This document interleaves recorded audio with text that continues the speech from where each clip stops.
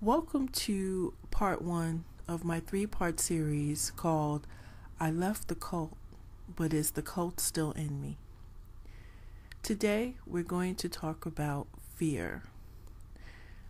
Fear is one of the three areas that we are affected most when we leave a cult.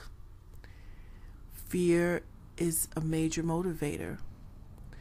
And when you're in the cult, whichever cult it was, in my case, it was the International Church of Christ or the ICOC. And we were taught using fear as a way to manipulate us and to control us. And let's just look at how fear impacts our lives. Now, people will say there is a healthy fear and an unhealthy fear. An unhealthy, a healthy fear would be uh, something that makes sense, that is a rational fear, such as uh, there's there's the old example of you walking down the street and you see a lion, you going to run. Or if someone pulls a gun out on you, you're going to have fear and run and try to either fight or flight. So that is what they would call a a healthy rational fear. But then you have an unhealthy irrational fear which is what cults do and religion in general that they they instill a fear of what? Fear of hell? Um, for one let, let's talk about fear of hell. Fear of eternal damnation. This hell piece is huge because uh, I, for example, as a personal um, as a personal uh, illustration of this, I was fed hell my entire life, even before I was in the cult. I had a lot of priming um, for the cult beliefs of hell by my Catholic upbringing. Um, Catholicism believes heavily in in fear and damnation and the idea of a fiery pit of hell where you will burn for eternity. And by the time I got to the cult, I had plenty of of programming already in place to accept um, the cult's beliefs that you, uh, if you do not accept the message that they uh, feel is the correct message of salvation, then you are de- predestined for hell. Um, Catholicism also uh, primed me for the concept of original sin. And most cults uh, operate on their own version of an original sin doctrine that you were born in, in sin, or in the ICOC, they called it you are separated from God and Jesus had to die on the cross and raise again so that God would not uh, smite you and send you to hell because in your natural state, the bottom line is you are not um, connected with God. You are an evil sinner by nature. And you will go to hell if you do not get baptized and, and, and baptized in the method that the ICOC felt is the only way to get baptized. Uh, religious intellectuals refer to it as baptismal uh, regeneration. In other words, that the act of water immersion baptism is what saves you, it's not grace. So here we have this fear piece, this fear monkey on our back when we leave our cult and it's something that's very underplayed because it's minimized a lot. um, many of us, and I, I included, I'm included in this. I spent so much time deathly afraid that I was going to hell. And even when I rejected that doctrine in my mind, there's still that part of you that is afraid in the wee hours of the night. It still has that fear that's lingering in the shadows of your mind and in your soul. And it's a it's a chain that it's very hard to break and, and, and I would say many of us never break it. And it's this fear that ultimately we're not going to make the cut. I used to be definitely afraid that even though I was doing all the so-called right things that that my cult had said I needed to do to be saved, there's so many um, hoops you have to jump through that that they impose on you that you realize the second fear. Not only are you afraid that you're going to go to hell as the ultimate consequence, but then there is the underlying fear that you're never enough. This fear that I'm not enough, nothing I do is enough. And this fear is inevitable when you live under a doctrine and a belief system that says that you, your sins separate you from God and that nothing you do will ever be good enough, that even your righteous acts are like filthy rags before God. So many people on the earth today live under this, this doctrine, whether they're in a cult or not. Um, many many are in churches that may not be considered cults, but it is a religious belief of Christianity that you are a wretched sinner and you need Christ to save you. Because without Christ, God will not have mercy on you. And so this has this has unspeakable uh, impact on on every area of our, our psyche and, and, and how we how we view the world and interact with the world and interact with ourselves and um, just believing there is a hell that's waiting for you uh, will put you in a state of fear um, that will paralyze you. And believing that you fear that you you know if you have hell and then you have all these these these rules that you can't live up to because in in in your mind you think how do i know how do i know that i've done everything right? How do i know god is uh 100% pleased with me? If i'm starting off from this deficit that i'm a sinner and god pretty much is detested by me um well he detests me rather. How is you know it, and they they love to quote the scripture we were once enemies of god. So this this feeds into this fear paradigm. And once we leave we have to ask ourselves i've left the code but is fear still in me? Is fear of hell is fear of not being good enough?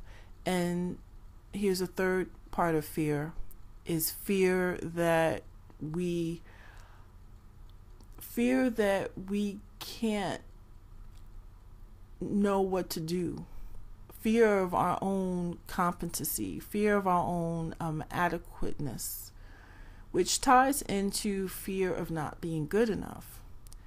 That if you didn't feel good enough, if you had this this deep seated fear that you were never good enough with God in the church in your cult, then once you leave and you're out in the world, how how much more are you going to feel without God that you don't have um, that you can't make it out there, that you can't cut it, that you can't support yourself or survive financially or survive emotionally or have a, a good life and take care of yourself.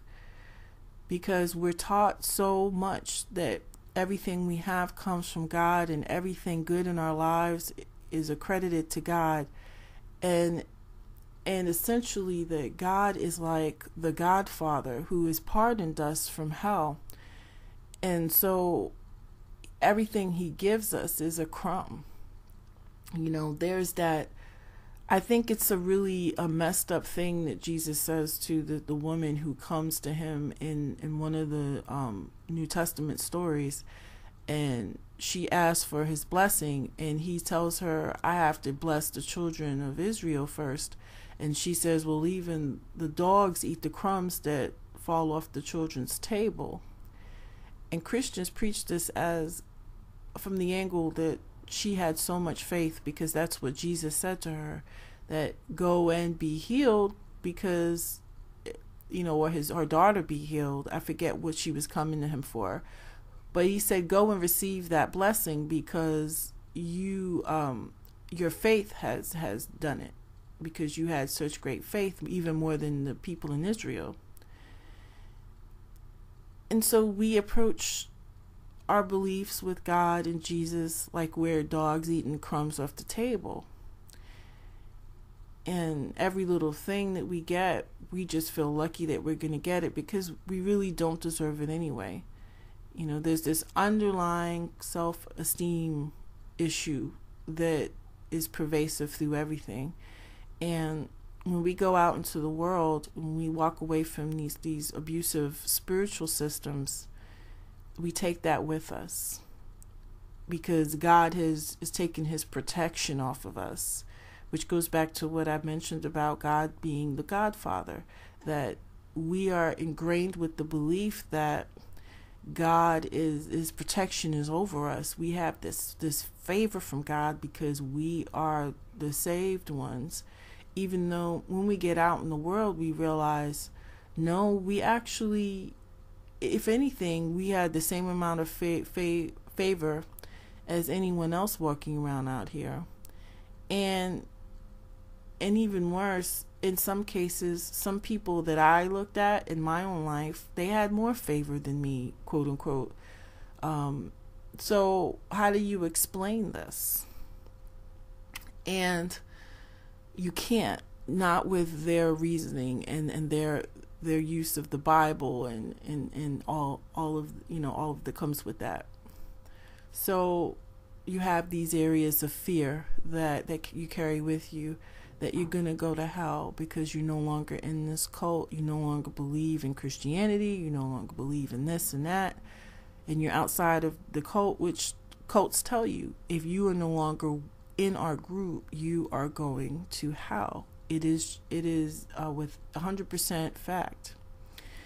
And even if you reject it it takes you years to uh, undo that.